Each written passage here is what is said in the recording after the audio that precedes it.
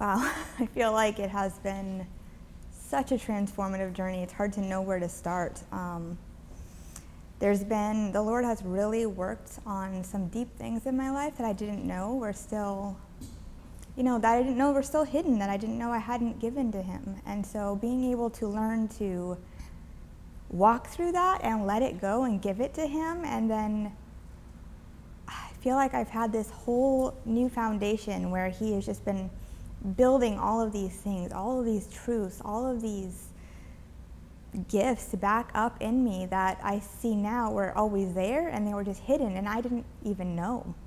And so being in a community of women that just supports and encourages and prays with and has slowly pulled those things out as we've grown together has been such an incredible experience. Change yourself, change the world. There's no competition in the kingdom.